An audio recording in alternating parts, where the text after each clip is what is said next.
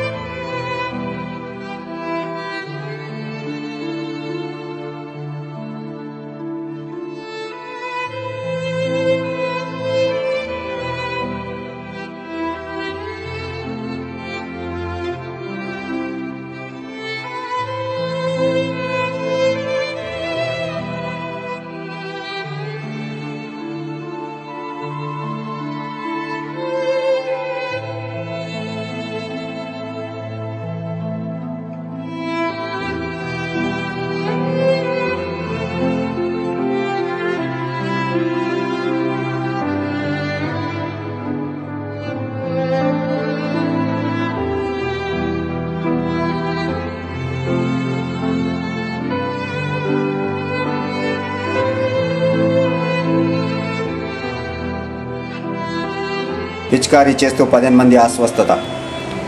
దవాఖానలో చికిత్సలు.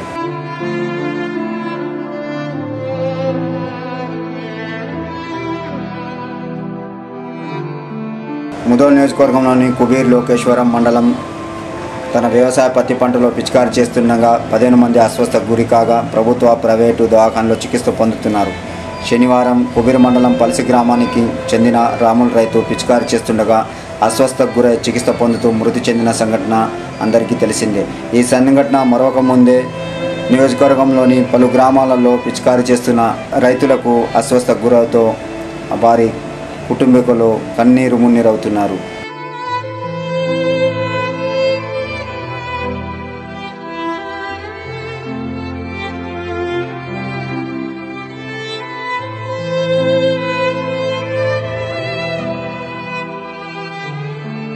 దీంతో అష్ట కష్టాల రైతన్నల పాలవుతున్నారు. వివరాలు ఇలా ఉన్నాయి. బైన్సా మండలం సిరాల గ్రామానికి చెందిన సాయినాథ్ అంపోలి గ్రామానికి చెందిన శ్రీకాంత్ కుబిరి మండలం గోడిసార గ్రామానికి చెందిన సాయన్న లోకేశ్వరం మండలం హద్గాం గ్రామానికి చెందిన చోటు సాబ్తో పాటు పలువురు అస్వస్థకు గురై ప్రైవేటు సర్కారీ దవాఖానలో చికిత్స పొందుతున్నారు. ఇద్దరిని నాందేడ్ ఆసుపత్రికి తరలించినట్లు వైద్యులు తెలిపారు.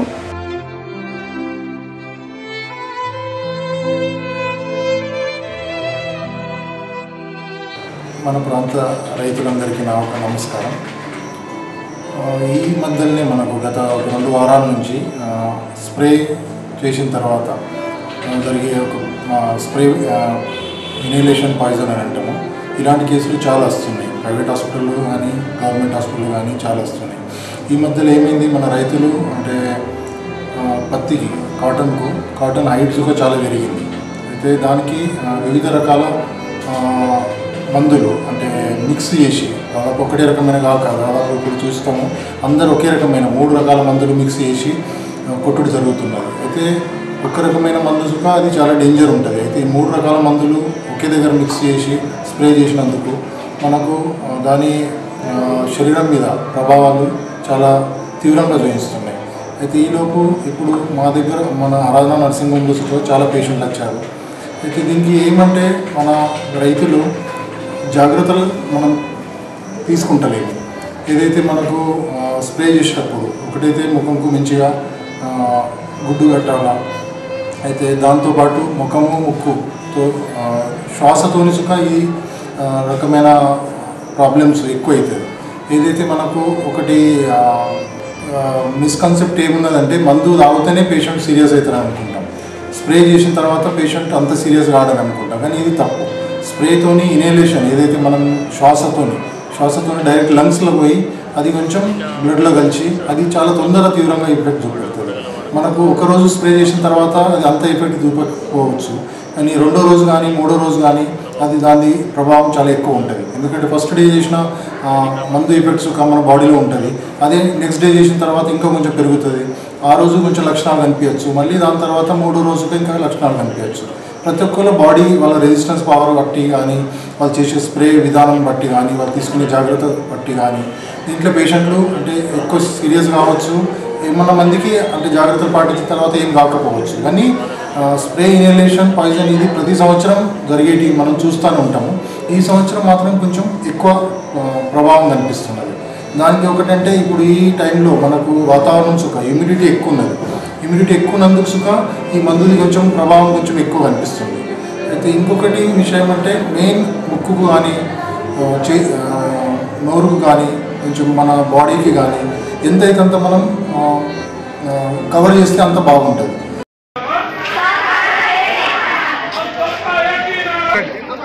నమస్తే మేడం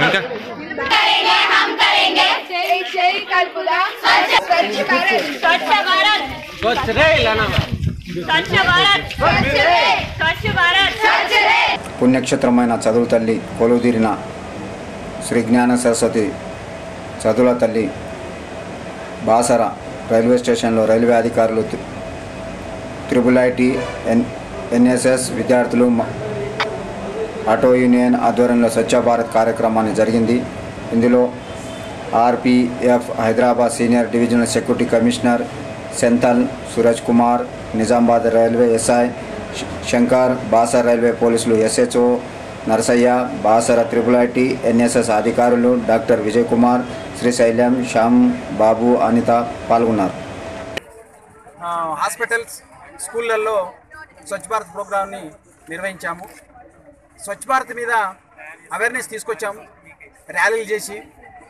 దానికి మా వైస్ ఛాన్సలర్ గారు డైరెక్టర్ ఆదేశాల మేరకు మేము ఈ ప్రోగ్రాం నిర్వహిస్తున్నాము. ఎప్పటికీ ఈ ప్రోగ్రాం ఇదే విధంగా ఎస్పీ గారు సింధల్ గారు వచ్చి మా దీంట్లో భాగస్వాములు అయినారు దానికి మేము చాలా సంతోషిస్తున్నాము. ఇటువంటి పిలుపు మేరకు ఈరోజు బాసరా రైల్వే స్టేషన్లో స్వచ్ఛ పక్వాడా అనేటువంటి కార్యక్రమాన్ని బాసరా ట్యూబ్లైట్ ఎన్ఎస్ఎస్ వాలంటీర్స్ను ఈరోజు కార్యక్రమంలో పాల్గొనడం జరిగింది. ఈ కార్యక్రమానికి డిఎస్పి దక్షిణ మధ్య రైల్వే సింథిల్ కుమార్ గారు వారు ప్రారంభించడం అటువంటి జరిగింది. వారు మేము ఈ పరిసర ప్రాంతాలను శుభ్రం చేస్తూ అదేవిధంగా సూచన చేశాము నినాదాలతో వారిని చైతన్యపరిచే పరిచేటువంటి కార్యక్రమాన్ని కూడా మేము చేశాము. అదేవిధంగా ఈ గత కొన్ని సంవత్సరాలుగా NSS wing RGKT Basara wing ఆలయం ఆలయం ఆలయ పరిసర ప్రాంతాలు మరియు ఇక్కడ ఉన్నటువంటి ఊళ్ళల్లో అదేవిధంగా రైల్వే రైల్వే సమ రైల్వే స్టేషన్లలో కూడా మేము ఇక్కడ వచ్చేటువంటి భక్తులు అధిక సంఖ్యలో ఉంటారు కాబట్టి చాలా కొన్ని కొన్ని ప్రాంతాలు చాలా దుర్గంధాన్ని అదేవిధంగా చాలా ఈ ఈ ఈ పరిసరాలను రైల్వే రైల్వే స్టేషన్ మరియు ఆలయము మరియు ఇతర ప్రదేశాల్లో ఉన్నటువంటి ప్లేసెస్ని మేము శుభ్రపరుస్తా ఉన్నాం మా విద్యార్థుల చేత. మేము ఈ- మాకు అవకాశాలు ఉన్నాయి. ఈ కార్యక్రమం మా యొక్క డైరెక్టరు అదేవిధంగా వైస్ యొక్క ఆదేశం ముదోల్ మండలంలోని కోలేగలిలో గత రెండు రోజుల నుంచి కురుస్తున్న వర్షానికి ఆ కాలనీలో వర్షపు నీరు నిల్వ ఉండడంతో స్థానిక సర్పంచ్ అనిల్ సందర్శించారు. ఈ సందర్భంగా ఆయన మాట్లాడుతూ కాలనీలోని మురికి వాడలు స్థా నిల్వ ఉన్న వర్షపు నీరును త్వరలో శుభ్రం చేసి ఆ కాలనీకి అన్ని సమస్యలను పరిష్కరిస్తానని భరోసా ఇచ్చారు. ఈయనంట ఎంపీటీసీ ఎజాజ్ ఉప సర్పంచ్ దశరథ్ ఆ కాలనీ వాసులు యువకులు పెద్దలు పాల్గొన్నారు.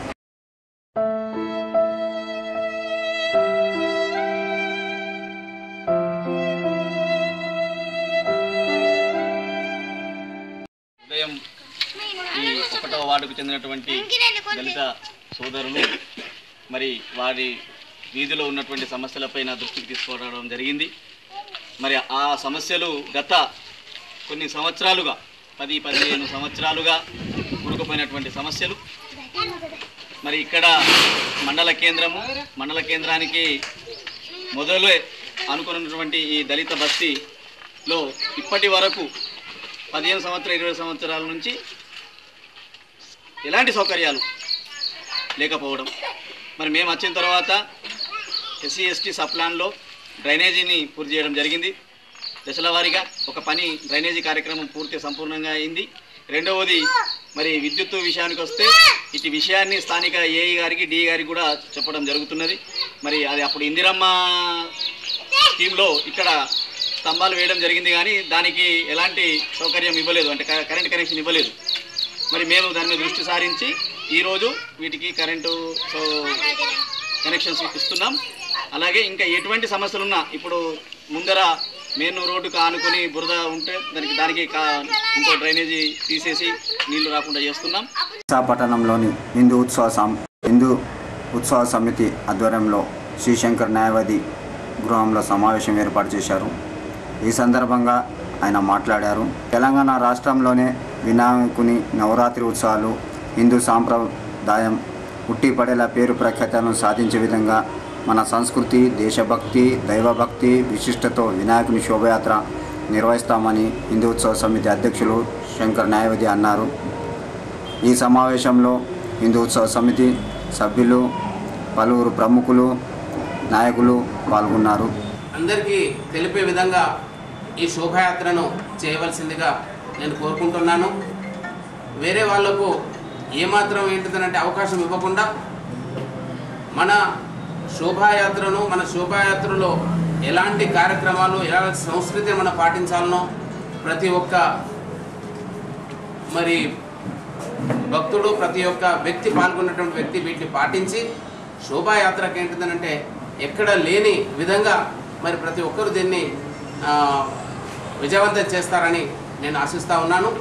ఏదేమైనా ఈ సంవత్సరం ముఖ్యంగా మరి ఇటు బక్రీద్ పండుగ ఈ గణేష్ నిమజ్జనం ఒకటే రోజు రావడం అనేది కూడా ఒక శుభ సూచకం. మరి హిందూ ముస్లింలు మరి దీన్ని పండుగలు ఒకే రోజు రావడం రెండు రిలీజన్కి సంబంధించిన వ్యక్తులు సంతోషంగా ఉంటూ ఈ కార్యక్రమానికి జయ జయప్రదం చేయడంలో వాళ్ళ వంతు కూడా కృషి చేయవలసిందిగా మనం కూడా ఏంటిదనంటే వేరే వాళ్ళు మాట్లాడే విధంగా కాకుండా కార్యక్రమాలను ఏంటిదనంటే సంస్కృతి పరంగానే కన్ఫైన్ చేస్తూ మరి రేపు ఏంటిదంటే ఐ- హిందూ ధర్మానికి సంబంధించిన కార్యక్రమాలే. మరి మండపాల దగ్గర కూడా కార్యక్రమాలు ఏం చేపట్టినా ఏ పాటలు పెట్టినా కూడా మన ఖ్యాతిని మన మన హిందూ ధర్మాన్ని మరి పెంపొందించే విధంగా ప్రజల్లో భక్తి శ్రద్ధలను మరి పెంపొందించే విధంగా అందరికీ ఏంటిదనంటే మరి ఏమాత్రం విసుగుంచకుండా ఏమాత్రం ఏంటిదంటే వాళ్ళకు ఇబ్బంది కలగకుండా కార్యక్రమాలు చేపడతారని మేము పదే పదే ఆశిస్తూ పూజించిన తర్వాత సరైన రీతిలో ఆచారం ప్రకారం నిమజ్జనం చేయాలి. కానీ ఇప్పుడు యూత్ ఎట్లా తయారైపోయిందంటే ఏమన్నా చూపితే నిర్మల్ది లేదా మన గొల్లమాట అనే ఎగ్జాంపుల్ తీసుకుని సార్ అక్కడ రెండు రోజులు అంటే గణేష్ పెట్టడం ఎగర ఎగరడం కోసమా మనం? డ్యాన్స్ చేయడం కోసం రోడ్ల మీద? నిమజ్జనం చాలా ఆచారంగా పద్ధతి ప్రకారం జరగాలి. కానీ ట్రెండ్ మారుతుంది యూత్ మారుతున్నారు. దాని ప్రకారం మేము కూడా కొంత సడలింపిస్తున్నాం ఓకే ఎంజాయ్ చేయనివ్వండి ఎంతవరకు చేయాలి? యాక్చువల్గా ఏ టైం వరకు ఉంటుంది? జనరల్గానైతే ఈరోజు నిమజ్జనం చేస్తున్నామండి. మధ్యాహ్నం వరకు పూజ అంతా కార్యక్రమం కంప్లీట్ చేసుకోవాలి. స్టార్ట్ కావాలి నిమజ్జనం.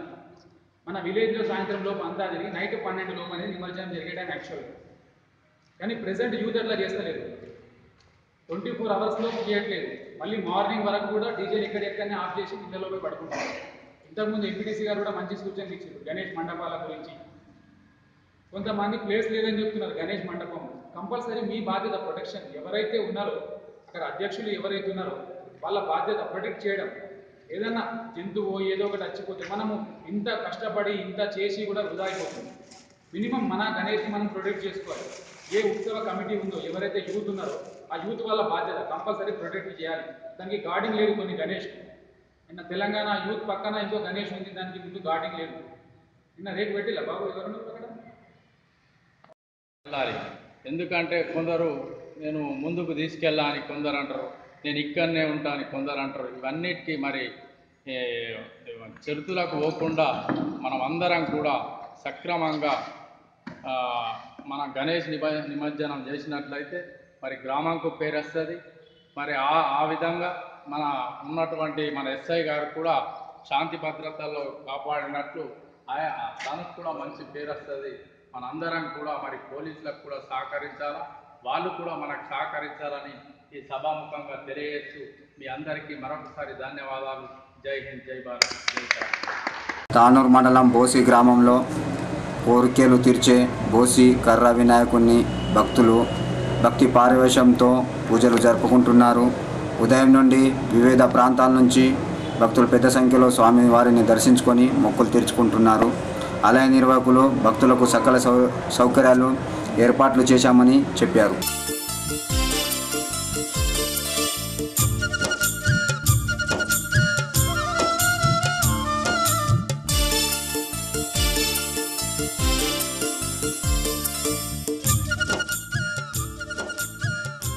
నా పేరు గంగా ప్రసాద్ నేను మా బోసి గ్రామంలో ఒకే యూత్ కమ్ ఉంది కాబట్టి ఆ యూత్ గ్రామ యూత్ ప్రెసిడెంట్గా మాట్లాడుతున్నాను. మా బోసి గ్రామంలో గత నైన్టీన్ సిక్స్టీ త్రీ నుండి ఒకే కర్ర వినాయకుడు స్థాపించడం జరిగింది. అప్పటి నుండి కూడా మా బోసి గ్రామంలో కర్ర వినాయకుడికి ప్రతిష్ఠిపించి ప్రతి సంవత్సరం లెవెన్ డేస్ ప్రోగ్రాం జరుగుతుంది కాబట్టి ఆ ప్రోగ్రాంలో సాంస్కృతిక కార్యక్రమాలు నైట్కు జరుగుతూ ఉంటాయి. మరి అదేవిధంగా పురా పురాణ ప్రవచనం కూడా జరుగుతూ ఉంటుంది మధ్యాహ్నం టైంలో. మరి అదేవిధంగా వచ్చే భక్తులకు కూడా సహాయ సౌకర్యాలు కూడా అందిస్తూ ఉన్నాం. ఏంటంటే భక్తులకు అన్ని రకాల సౌకర్యాలు కూడా జరుగుతూ ఉన్నాయి. మళ్ళీ మా బోసి గ్రామంలో మెయిన్గా చెప్పాలంటే మా బోసి గ్రామంలో ఇందరు దగ్గర దగ్గర త్రీ హండ్రెడ్ పీపుల్స్ అంటే త్రీ హండ్రెడ్ ఓన్లీ యువకులే ఉన్నారు కాబట్టి ఆ యువకుల్లో ఇప్పటికి కూడా అన్న మనము గణేష్ను వేరే వేరే గణేష్లు పెట్టుకుంటా ఉన్నాం మన విలేజ్లో ఇందరం యువకులు ఉన్నాం కాబట్టి ఇప్పటి కూడా మా పిల్లలు ఒక్కసారి కూడా మాకు ఆ ఆలోచన కూడా రాలేదు. ఎందుకంటే మా పూర్వీకులు స్థాపించినటువంటి ఆ కర్ర వినాయకుడు వరసిద్ధి వినాయకుడికి అదే మాకు నిదర్శనమని మా బోసి గ్రామంలో మేము చిన్న పెద్ద తేడా లేకుండా కూడా ఇదే విగ్రహాన్ని పూజిస్తూ ఉన్నాము. మరి బయట నుండి కూడా వచ్చే భక్తులు అధిక సంఖ్యలో కోరిన కోరికలు కూడా వాళ్ళకు అవలంబిస్తున్నాయి కాబట్టి నేను ఒకటే కోరుతా ఉన్నాను. వచ్చే భక్తులకు కూడా సహాయ సహకారాలు ఇక్కడ బోసి గ్రామంలో జరుగుతూ ఉన్నాయి. కోరిన కోరికలు కూడా తీరుతూ ఉన్నాయి కాబట్టి ప్రజలు అధిక సంఖ్యలో మా వరసిద్ధి వినాయకుని వచ్చి దర్శించుకుంటారని కోరుతా ఉన్నాను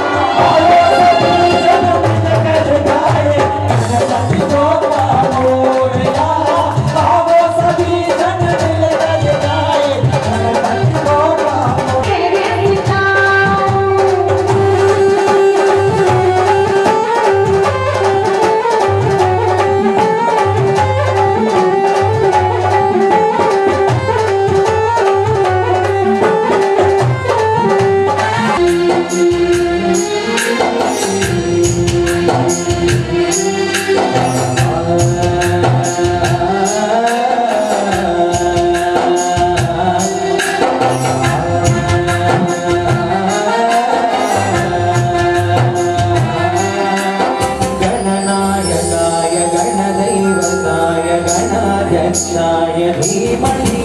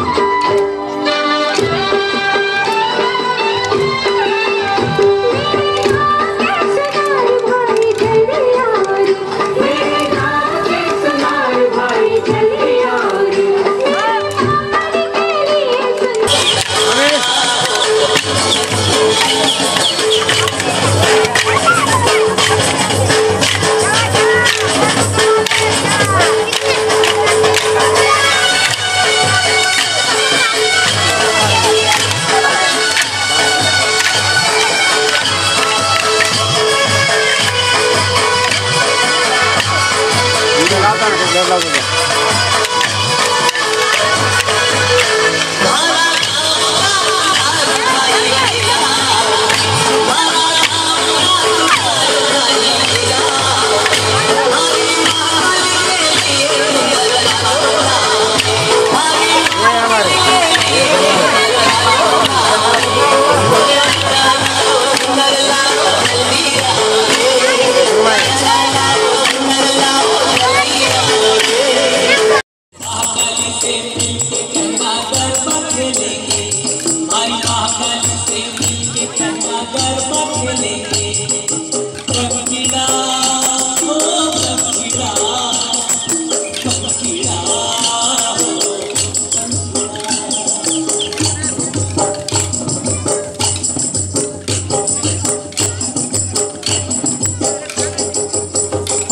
పట్టణంలోని చంద్రబోస్ యువసేన గణేష్ నగర్ ఆధ్వర్యంలో కబడ్డీ పోటీలు నిర్వహించారు. ఈ సందర్భంగా గోశాలలోని గోమాతలకు పూజలు చేపట్టారు. అనంతరం క్రీడా పోటీలను ప్రారంభించారు. క్రీడా పోటీలలో విజయం సాధించిన జట్టులకు బహుమతులను ప్రదానం చేశారు.